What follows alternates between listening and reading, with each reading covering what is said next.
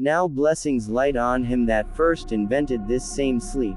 It covers a man all over, thoughts and all, like a cloak, tis meat for the hungry, drink for the thirsty, heat for the cold, and cold for the hot. Tis the current coin that purchases all the pleasures of the world cheap, and the balance that sets the king and the shepherd, the fool and the wise man even. There is only one thing that I dislike in sleep, tis that it resembles death. Don Quixote, I have to practice staying alive and preparing to die at the same time. Christopher Hitchens, intolerance of ambiguity is the mark of an authoritarian personality. Theodore Adorno C.W. Substance abuse sleep story by John Merino Insomnia runs in my family, afflicting both sides of it with equal intensity. That's nearly four centuries of Mexican tossing and Italian turning, with fits of German cursing and crying in between. A long heritage of discomfort, and, according to family gossip, one that has only been interrupted by the rotting medicines that tempt anyone who's had to put up with an extended period of lost sleep, drugs, alcohol, compulsive anger, and every possible combination of the three. With the advent of psychotherapy, and the discovery that trauma is an actual illness and not a defect of character, many of us have learned to deal with insomnia in less destructive ways. In 2010, my father was prescribed a small dose of the sleep aid Zolpidem, brand name Ambien, by his psychiatrist, a neat, gentle little drug that has chemical kinship with tranquilizers like Valium and Xanax, but without their addictive and narcotic qualities. To my dad, who had long suffered from sleepless nights and long days spent dragging himself through his work as an electrician, this was the answer to all of his prayers. After his inaugural dose, he smiled and drifted off into what I'm sure was the finest sleep he'd had in decades. I'm also sure this is all he remembers of that first night, and he's better off for it. Zolpidem has a blackout effect on the mind, like a drinking binge without the hangover. My mother and I recall it in deeper, less relaxing ways. For her, it brought on the uncomfortable squeeze of an abused past, and, for me, it brought forth the very shadow of death. It was an alien shape seen in my peripheral vision that night. We all have to see that shape at least once in our lives. Knowing I'll have to see it twice frightens me. Watching my dad's face slacken at the dinner table after taking his first dose was distressing. It bore the stamp of deep intoxication, and it was immediate, without any intervening period of jollity or talkativeness. No time to acclimate to it. Only a high school junior at the time, I was unfamiliar with the actual sensation of being drunk, but I would later come to know it well as a solitary confinement for the soul. In certain quantities, liquor utterly disables your ability to step outside yourself. For the constructive drinker, often an artist, leaving this ability behind is useful and focusing, like a monk retreating into his cell to pray. Booze simply becomes a chemical means of getting to that same, isolated room. For the drunk, however, who often harbors a deep hatred for what he sees in the mirror, this blind isolation is an addictive, absolute deliverance, and an absolute terror for those around him. There are few things in this world as wonderful as being drunk, and even fewer as awful as seeing someone else drunk. This is why I've always thought of the designated driver concept as something nice in theory and unimaginable in practice. Drunk people are only bearable when you're also drunk, and being sober among drinkers has the same world-shattering effect as catching a glimpse of yourself having sex.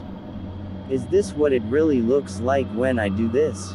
Blissfully sliding about inside his cell without mirrors, or even the faint reflectivity of a window, it becomes nearly impossible for anyone to make the drunk see that he is trapped, or that there is a world outside. My mother watched helplessly from outside like this for most of her childhood as my grandfather, Andrew, committed himself to this living death, dumping frightening amounts of alcohol into himself and raging as if there were no one else in the room. My dad's face that night, so relaxed it might have melted right off of his skull, brought these times closer to her than she'd felt in years. By the time I began to know him, Andrew had long been sober, and the sleep story he told me when I was seven was an isolated horror from an age so far away I could barely imagine it. I had no idea that he was, in his own way, doing a dry run of the apology he would never get to make to his own children. A veteran of the Battle of Iwo Jima, the Second World War's bloodiest passage in the Pacific, and the first and only battle in which American casualties exceeded the Japanese, he recalled trying to sleep in the rare moments between fighting, curled up against the black volcanic dust that blankets the island like a morning veil. This dust is soft and pliant, and might have been comfortable for him to lay on, drawing him down into sleep for seconds to split they barely existed. The Japanese had dug a vast network of bunkers and tunnels through the island before he arrived, and he would wake up again, and again, and again, to their muffled voices only a few feet underneath him. Imagine drifting off to the sounds of men planning how best to kill you. It's the boogeyman in the childhood closet made real. It's the suppressed nightmare of ancient humanity, resting in caves and clearings while hungry beasts waited behind the trees. Who wouldn't try to drink until they'd totally drowned such a memory? Some, but not all, of these thoughts were with me as my dad began to nod off over his unfinished dinner. The absent ones, the adult ones, the ones of laid down here, made themselves known that night as a warm tightness in my chest, my body figuring things out for me long before my brain did. My mother and I woke him up with a gentle shake and told him it was time for bed, but he simply hovered above his seat for a moment and plopped back down under the weight of his medication. We approached him, realizing we would have to actually walk him to his bedroom, but before we arrived, he pointed across the table and into the kitchen, calmly informing us there was a little girl standing in front of our refrigerator. I once saw a production of The Crucible in Austin, Texas, and at a climax in the play, one of the bewitched girls feigned seeing a demonic bird perched just beyond the tribunal. The actress pointed to it, and roughly half the audience turned around in their seats to look where she had pointed. I looked at them looking, and silently judged them fools.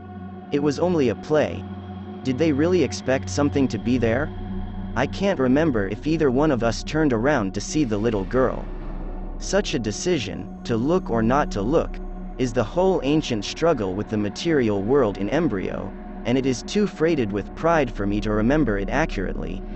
I'd like to say I didn't look, my refusal a harbinger of the staunch atheism that would eventually develop out of my Catholic upbringing. But that's just wishful thinking, if my mother and I had bothered to read the literature that came with my dad's prescription, we would have known that hallucinations are a common accessory in zolpidem's package deal of side effects, especially upon its first dose. This harmless hiccup in my father's nervous system nonetheless had a chilling effect on us, and we quickly gathered him up from his chair and into bed, where he curled up and left us to stew in our thoughts. Here is where I must speculate entirely, because, after my dad fell asleep, there is a patch of nothing in my head that looks to be about the length of an hour. Guided by my current habits, I can safely assume that, in my distress, I listened to an episode of Mystery Science Theater 3000 on my iPhone while I milled around the kitchen, munching on a hastily stacked turkey sandwich.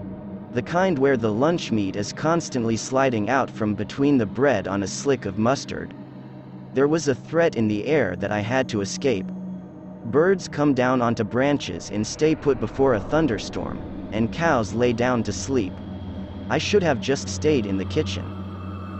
My memory picks up again as I cross from the kitchen into the dining room, feeling in the corner of my eye the tall window that looks out onto the lawn. A warm floodlight brightens the first few feet of our concrete driveway and the right edge of our boxwood hedge. Beyond that is total darkness after 9 p.m., and nothing can be seen for 20 yards except the neighbor's pork lights across the street. Although small and narrow, it is a picture window in the most wonderful sense. At any time of night, you can see raccoons, opossums, squirrels, cats, dogs, and all manner of mammalian life slinking by to sniff and enjoy the food and water we leave out for the neighborhood strays. Sometimes, an enormous moth of exquisite pattern will flutter over and land with a thump on the glass, allowing anyone who happens to be in the dining room to admire it for hours. It's like our own private zoo. But that night, there wasn't a creature stirring anywhere. No crickets, no thumping moths, no hideously sleek roaches trying to get inside, a bad stillness that made me want to look away from the window as I sat down at the table to finish my sandwich. But it still beckoned my gaze, pulling my eyes towards it like a private letter left open on someone's desk, and, as I looked up from my sandwich, the little girl my father had seen passed by the window. I remember snapping my head back towards the kitchen, thinking my mother had come into the dining room and that I was seeing her reflection, but I was alone. When I looked back, the little girl was gone, but I was sure I had seen a tan, diaphanous dress, fluttering in the humid summer air, and young skin on a solid face, free of any adolescent blemish, shining in the porch light as thick and alive as my own. I can still see the turn of the century brocade of her outfit, and the unsettling way she quickly floated by the window, as if on roller skates. A trick of the light no doubt, primed for a ghostly vision by my father's hallucination, could easily explain away what I saw that night.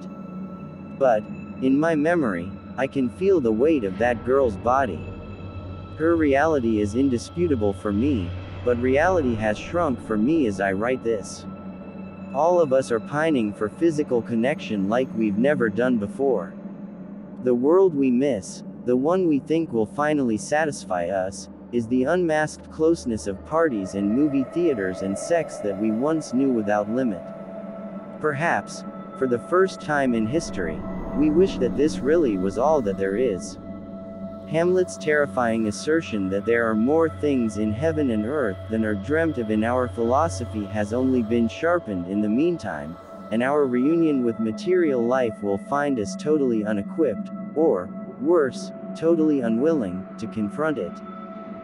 I still don't believe in ghosts, or gods, or prayers, or blessings and mystical vibrations, or any of the lies people tell themselves and their children so that life doesn't seem like a succession of random cruelties.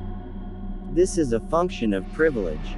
I've never really known the dire, physical desperation that is a rule for most of the proletariat world, desperation for food, for shelter, for a face that doesn't regard you as an obstacle, for a day spent without the wounding anxiety of poverty and parenthood.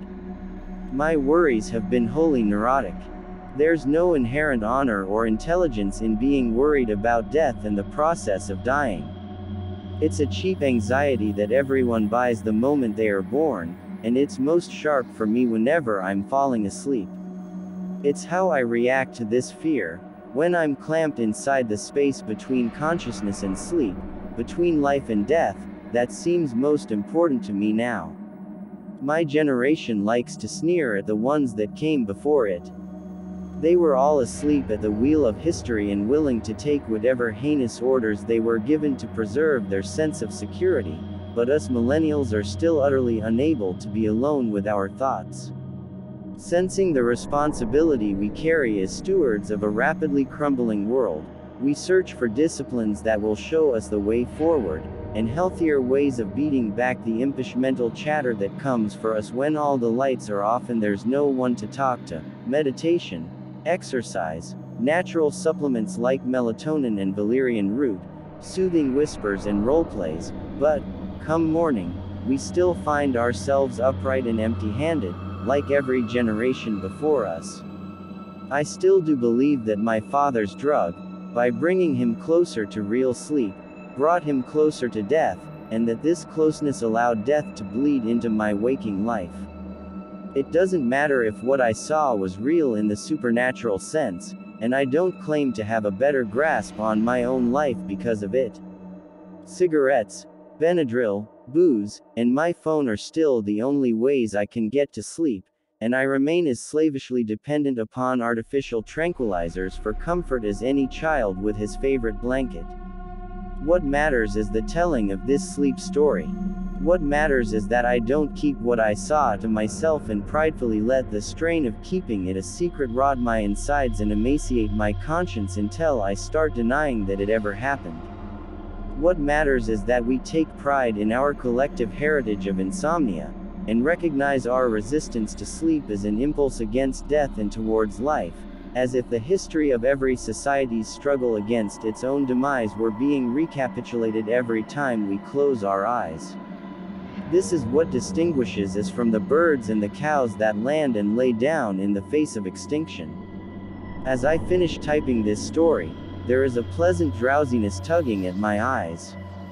I hope that as I fall asleep tonight, no matter how drugged or drunk or distracted I am, I will try and feel myself sink into it, fighting all the time while knowing I am, like everyone, destined to lose.